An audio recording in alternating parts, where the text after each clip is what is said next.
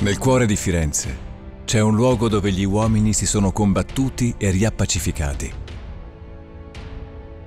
Hanno bramato il potere e l'amore e hanno meravigliato il mondo con opere d'arte immortali. Un luogo unico, affascinante e misterioso, dove sono transitati personaggi straordinari, artisti e uomini d'ingegno, nobili e cortigiane.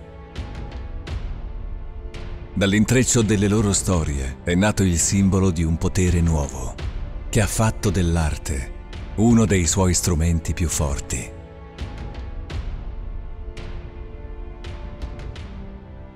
Tra passaggi segreti e prigioni, studi privati e magnifici saloni, vi sono impresse per sempre la maestria dei più grandi artisti e le impavide gesta dei potenti.